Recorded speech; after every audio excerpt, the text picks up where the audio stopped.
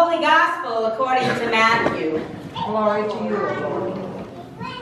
But to what will I compare this generation? It is like children sitting in the marketplaces and calling to one another. We played the flute for you and you did not dance. We wailed and you did not mourn. For John came neither eating nor drinking, and they say, He has a demon. The Son of Man came eating and drinking, and they say, Look, a glutton and a drunkard, a friend of tax collectors and sinners. Yet wisdom is vindicated by her deeds. At the time Jesus said, I thank you for the Lord of heaven and earth, because you have hidden these things from the wise and the intelligent, and have revealed them only to the infant. Yes, Father, for such was your gracious will. All things have ha been handed over to me by my Father, and no one knows the Father except through the Son, and no one knows the Father except through the Son, and anyone to whom the Son chooses to reveal him. Come to me, all you that are weary and are carrying heavy burdens, and I will give you rest. Take my yoke upon you and learn from me, for I am gentle and humble in heart, and you will find rest for your souls. For my yoke is easy and my burden is light. The gospel of the Lord. Praise, Praise you, Christ. Please be seated. Are there any kids this morning that would like to come and see me? Maybe? Maybe, maybe? Maybe, maybe, maybe, maybe. Oh, look, it's George and George. And Georgette. Good morning. How are you guys this morning? Oh, you don't have to sit down, baby, if you don't want to. We're going to stand up today. Feeling strong? Ooh, just man want to look at his cross. Oh, that's a nice looking one. Isn't that a nice looking? Indeed, indeed. Oh, there she be. Dun, dun, dun, dun. I love it. You guys feeling strong? Did you eat your Wheaties this morning? What? You didn't eat any Wheaties this morning? How about some spinach? Yeah, up my arms. You ate something, but I'm not sure what it is. But I think we all would like to have some of it. What'd you have for breakfast? Chocolate donuts. Whoa, that's pretty good too. Did you have chocolate donuts too, George? No. Oh. What did you have? You didn't have any breakfast.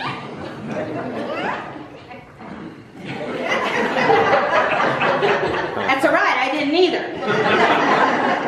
All right, so who thinks they're the strongest? Okay. All right. Okay, turn around. We got some chores to do. Give me an arm. What'd you do to your elbow? Um, fall down on cement. You fell on cement? Yeah. Oh, okay. There you go. Okay. Are you good? Is that heavy? Is it low heavy? Well, it's falling off you. Well, let's try you, George. Let's see. Put your arm in there. There we go. Okay, how about you? Are you good with it? Yeah. Okay, we're gonna go walking. Here, let me carry the heavy one. Okay, you gonna help me carry the heavy one? Okay. Oh, it's so heavy. Do you think you can so heavy. See how heavy it is? You what? This isn't heavy? But pick it up like this and let it Oh, you're gonna help him? Then it feels less heavy, huh? Because that looks like the really heavy one. I don't know what it is. Oh, that's the lightest? So you guys think this one's kind of heavy? Okay, let's try this one. Is this one heavier?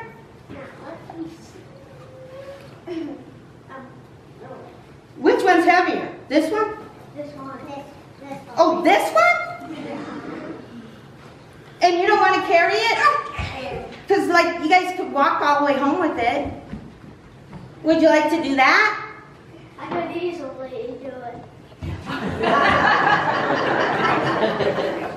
and you, George, you could easily do it too.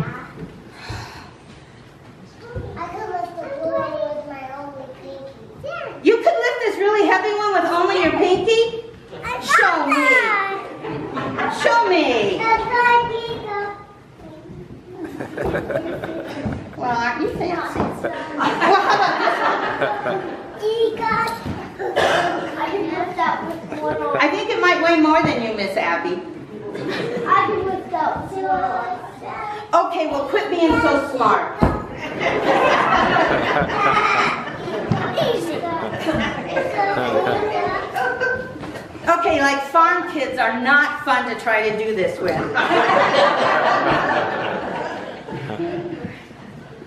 All right, you guys are just too good for me. So here goes our object lesson that failed totally. God says when we carry something really heavy, like this backpack, we don't have to do that. Because you know what? We can give it to God. We can say, God, you know, No. I got a whole lot of junk in here and I don't want to carry it anymore.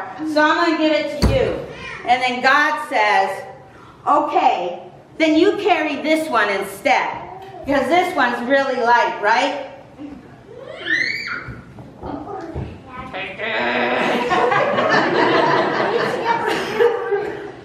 Oh, he wants to get his on it too. Okay. Okay. See, that one's a whole lot lighter. Wouldn't that one be a lot more fun to carry? Yeah. Yeah. Okay, so much for that object lesson. Okay, so when you guys have stuff that just is really hard, I know you probably tell mom and dad, but you also can take that really hard and heavy stuff to God and say, I can't do it, it's too much for me. That guy at school, he's a bully and I don't want to have to deal with him. Will you help me, right? We can tell God those things, right? Yes, Pastor, we can. Isn't it great? It sure is great, kids. Gosh, thanks so much for coming up. Uh, go sit down now.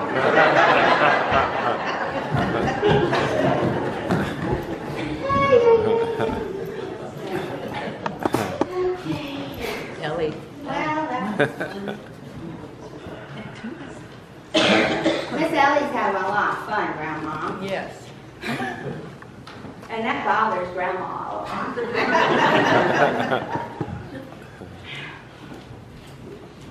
She's yours. Thank you. Ooh, Ronnie, look, another tax deduction. Thank you. And Jesus says, Come to me and I will give you rest. All of you who work so hard beneath a heavy yoke, wear my yoke, for it fits perfectly. And let me teach you, for I am gentle and humble, and you shall find rest for your souls. For I give you only light burdens.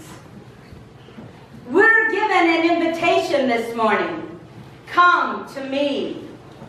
That doesn't seem like a really difficult thing to do. Even my dogs can come to me when I ask them to. So if I say to you, Larry, come to me.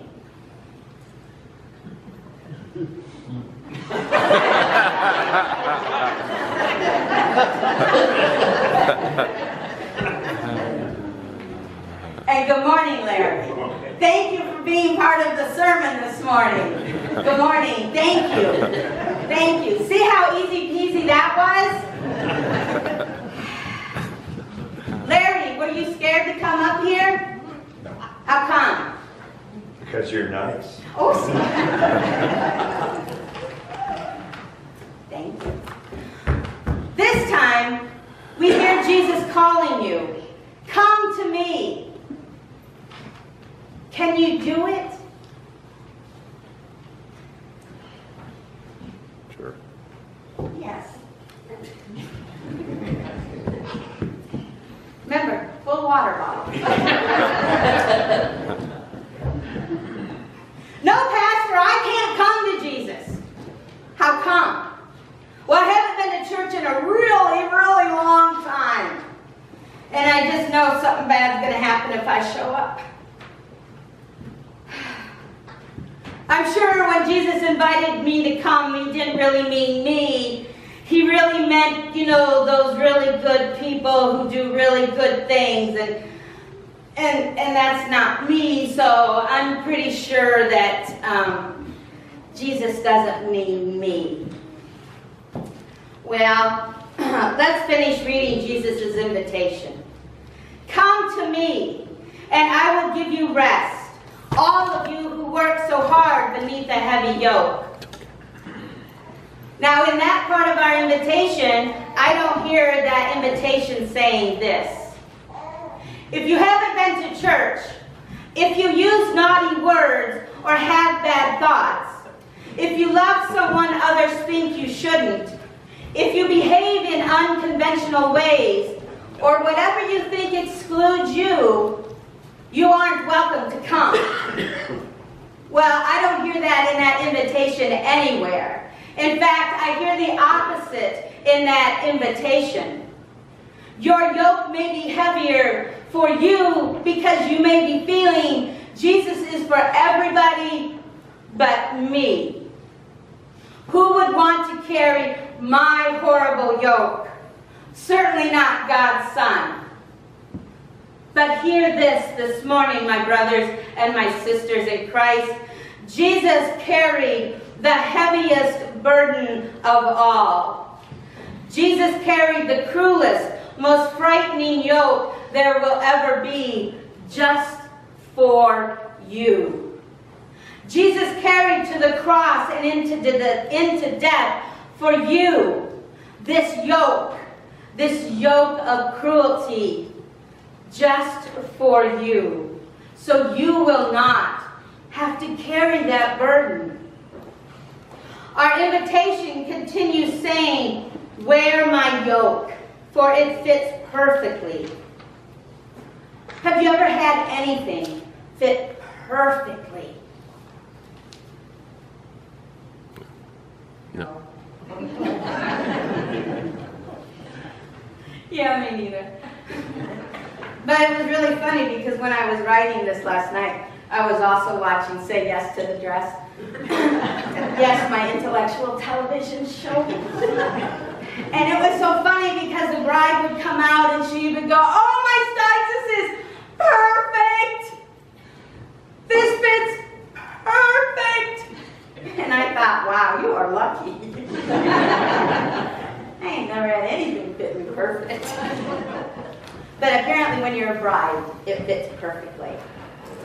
So, because well, we don't seem to have anybody who knows what it feels like to have something fit perfectly, I guess I won't ask you how it felt to have something fit you perfectly. And I won't ask you how did it make you feel that something fit perfectly. I'll tell you for these brides that said it was perfect, they were out of this world full of joy. Yeah. And that's what it feels like when we carry Jesus' yoke on us instead of carrying that big heavy burden of a yoke that we tend to keep with us forever. It's so easy and light to wear Jesus' yoke, and at times you may not even realize you're wearing it. Wearing this lighter yoke of Jesus opens us up for, the more, for more of the invitation that we hear this morning. Let me teach you. When we no longer carry this burdensome yoke, we can open ourselves and embrace the mission field God calls us outside of these walls and doors to do. We can be the disciples Christ calls us to be. I think carrying Jesus' lighter yoke feels like what a caterpillar feels like when it escapes the confines of that cocoon. And it starts to break open. And soon the butterfly's wings begin to stretch and dry out. And soon he is a full-fledged butterfly, ready to take on air.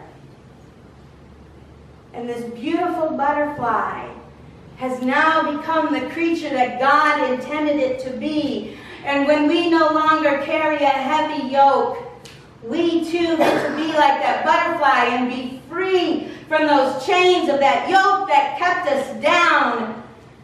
And we can go out to be the butterfly God called us to be. And finally, our invitation this morning invites us into rest. You shall find rest for your souls. Rest! Oh, a beautiful idea, a very difficult concept for many. I can't rest, there's so much to do. I can't rest, so many people depend on me. I can't rest. Because in resting, I will have to face all that scares me. All those things that keep me up at night. I cannot rest, not even in Jesus. And Jesus says, Come to me, and I will give you rest. All who work beneath a heavy yoke. This morning, I invite you in your silent prayers to ask God to take that yoke off of you so that you truly can become the beautiful child of God that He has called us to.